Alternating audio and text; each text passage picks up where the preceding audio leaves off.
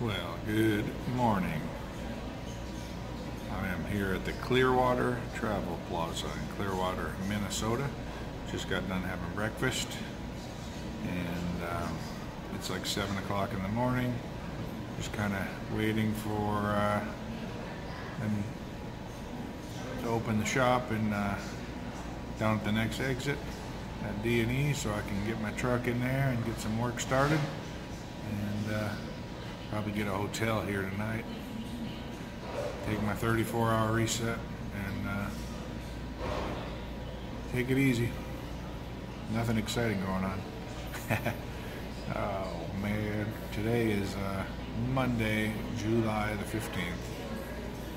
One day away from my anniversary when I came back to D&E last year. Anyway, you guys have a wonderful Monday and we'll talk to you again.